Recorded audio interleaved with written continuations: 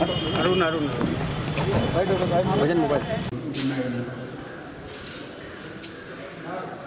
नार नानपारा के साथ अप्रत्याशित घटना घटी। विधायक के प्रतिनिधि जो दिलीप वर्मा जी हैं, उनके द्वारा चैम्बर में जाकर के कुछ अप्रत्याशित तौर पर कोई घटना की गई है, उसके लिए सभी लोग एकत्रित हुए हैं। हम लोग आपस में बैठक करके जो निर्णय होगा, उससे डीएम साहब को अवगत कराया जाएगा। डीएम साहब से अवगत कराने के बाद अगर उनके खिलाफ कोई कार्यवाही नहीं होती है तो हम लोग अग्रिम निर्णय बनाएँगे। तो तहसीलें बंद कराई जाएँगी, जिला बंद कराया जाएगा। ये तो आप, ज़ाहिर सी बात है।